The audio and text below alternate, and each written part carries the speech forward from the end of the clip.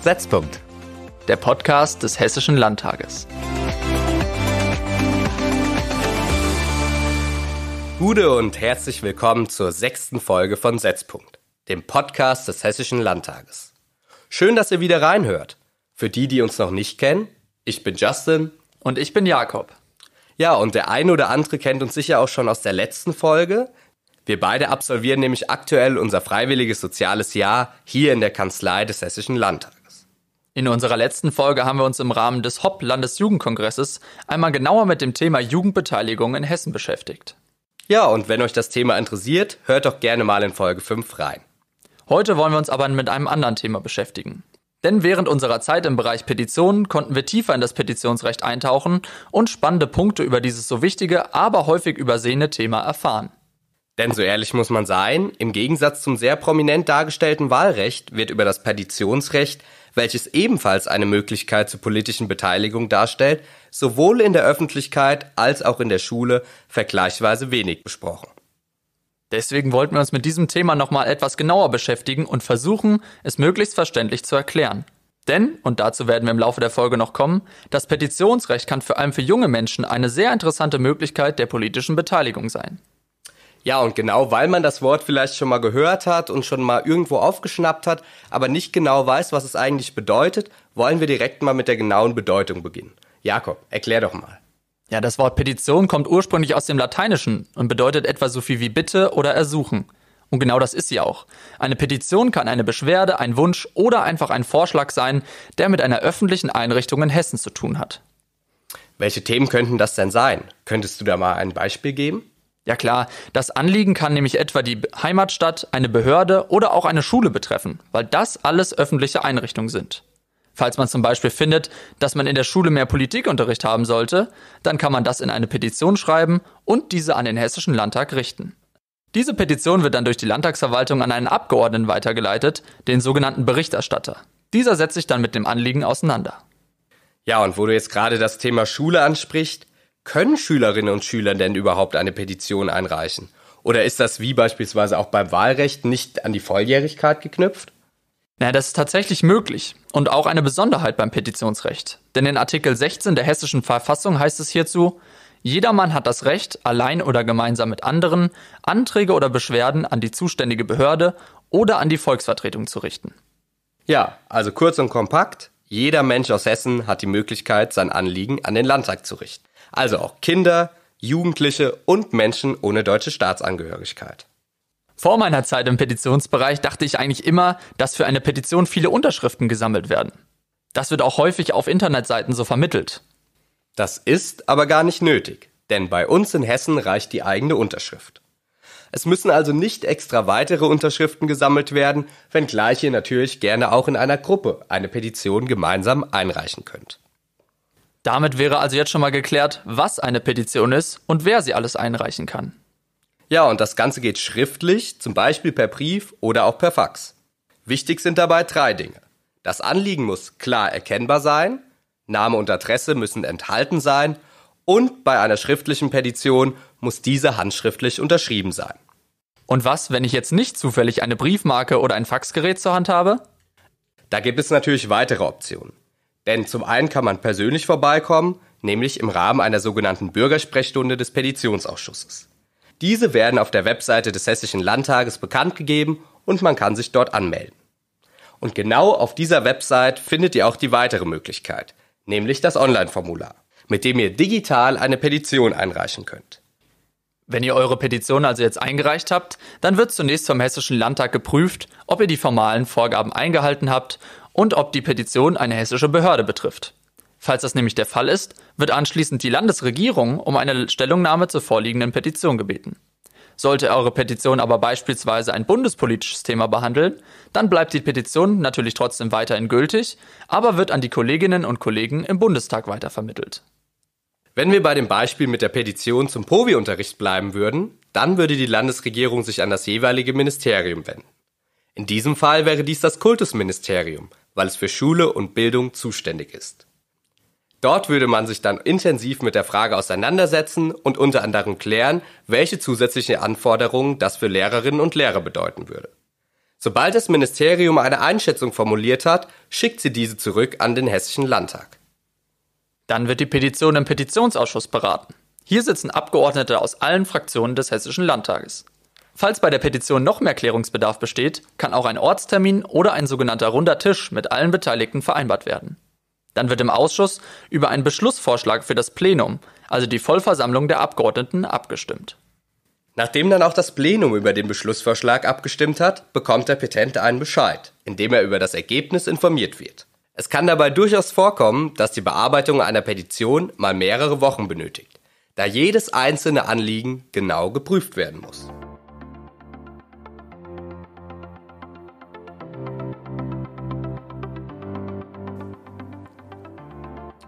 Ja, und jetzt haben wir heute die Möglichkeit, mit einem absoluten Experten zum Thema Petitionsrecht sprechen zu können. Wir freuen uns sehr, dass er heute hier ist, Oliver Ulott. Ja, vielen Dank euch beiden, Justin und Jakob, dass ich heute bei euch sein darf. Ja, und Oliver kennt sich vor allem deswegen so gut mit dem Petitionsrecht aus, weil er Mitglied hier im Hessischen Landtag im Petitionsausschuss ist.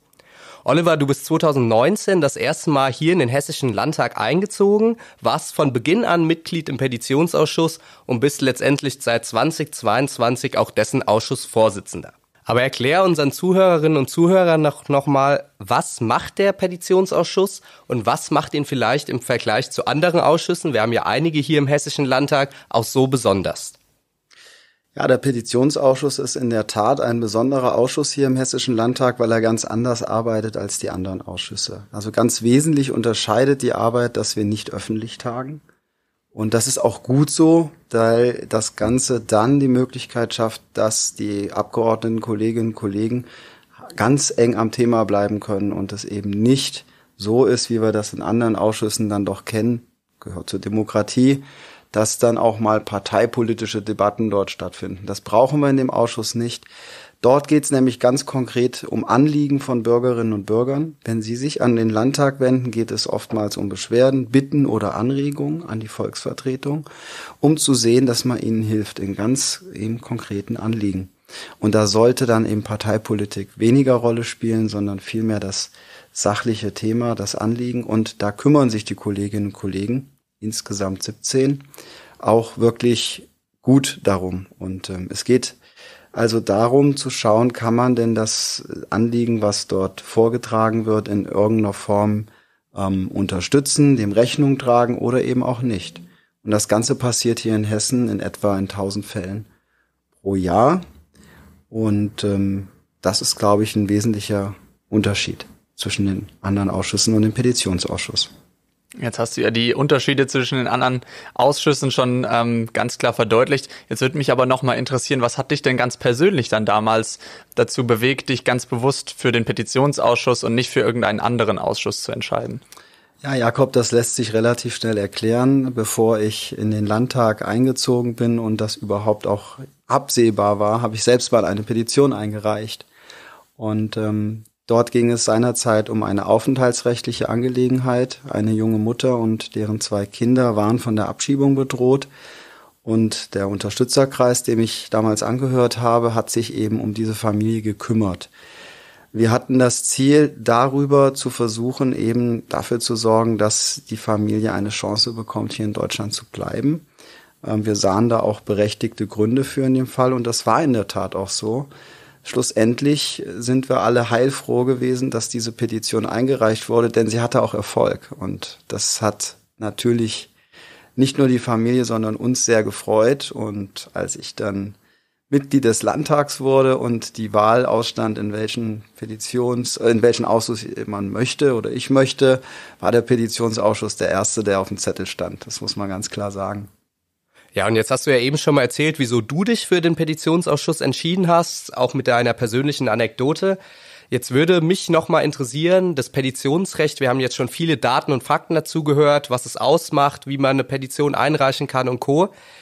Das Petitionsrecht, die Vorteile in drei Worten kurz und knapp zusammengefasst. Was würdest du sagen, welche drei Worte wären das? Das Petitionsrecht wirkt unmittelbar. Man kann ganz konkret in Einzelfällen helfen und die Politik hat da die Möglichkeit, tatsächlich im ganz nahen Dialog mit den Bürgerinnen und Bürgern etwas umzusetzen. Und das im ganz, ganz Kleinen und das ist auch ganz wichtig. Ja, du hast vorhin schon mal erzählt gehabt, was dich damals dazu bewogen hat, ähm, selber eine Petition zu stellen an den Hessischen Landtag. Und äh, jetzt würde ich noch mal gern von dir wissen, wie das von der anderen Seite aussieht. Also du hast ja damals selber eine Petition gestellt, aber was war denn vielleicht eine Petition, die du als Abgeordneter jetzt mitbekommen hast, die dich besonders bewegt hast, die du besonders wichtig fandest? Und vielleicht kannst du da noch mal ein Beispiel unseren Zuhörerinnen und Zuhörern nennen. Da gibt es in der Tat einige Fälle, die mir sofort in den Kopf kommen ähm, und man gerne drüber sprechen möchte. Das ist aber nicht erlaubt. Also es ist ja so, wie gesagt, dass das Ganze nicht öffentlich ist. Aber es gibt ein Beispiel, das ich immer wieder gerne anbringe und auch darf, weil der Petent selbst das Ganze öffentlich gemacht hat. Und da ging es um den Blindenpfad und dessen Erhalt. Und dieser Blindenpfad ist im Kasseler Habichtswald zu finden um das kurz zu beschreiben, worum es dabei geht.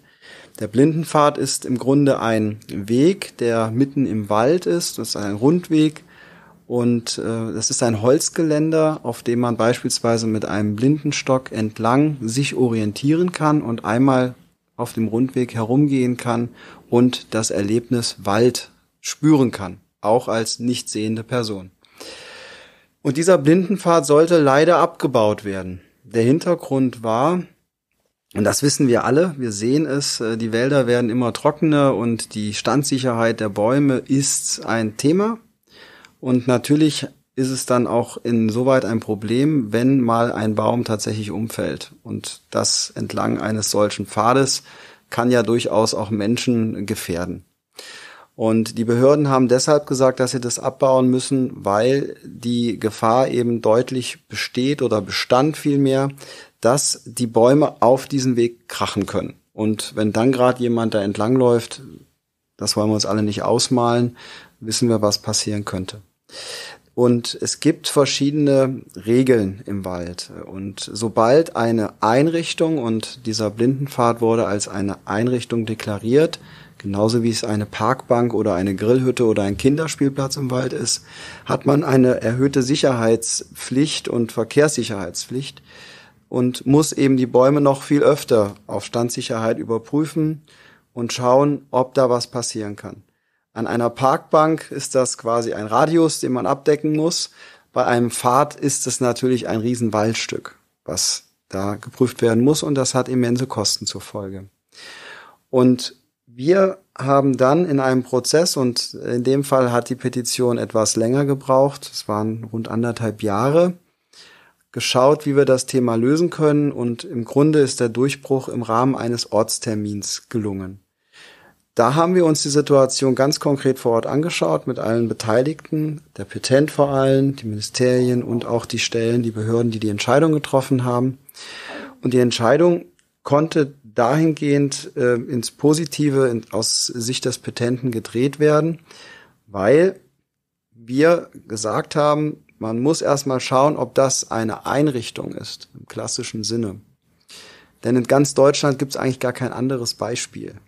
Und dieser Blindenpfad war aus Perspektive des Petenten eigentlich nichts anderes als eine Wegmarkierung, wie wir sie für Sehende auch kennen an Bäumen. Das sind die Kreise, Dreiecke, Quadrate. Und er hat gesagt, es darf keinen Unterschied geben zwischen Menschen mit Sehbehinderung und Sehenden. Und im Endeffekt ist das nur eine Orientierung und eine Wegmarkierung und keine Einrichtung.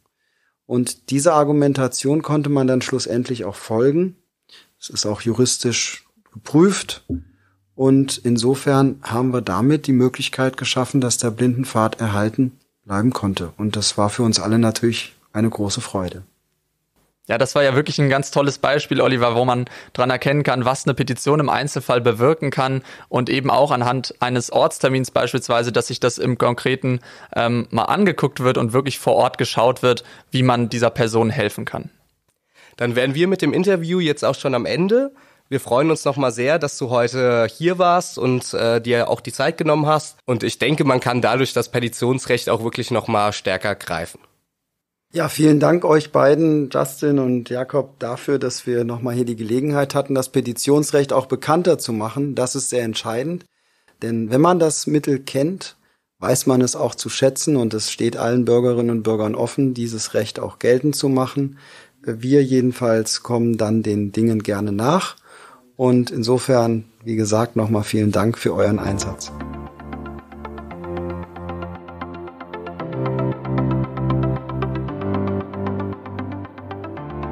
Wenn ihr noch weitere Fragen an Herrn Urlaub bzw. seine Kolleginnen und Kollegen habt, dann findet ihr alle Kontaktdaten der Abgeordneten auf der Website des Hessischen Landtages.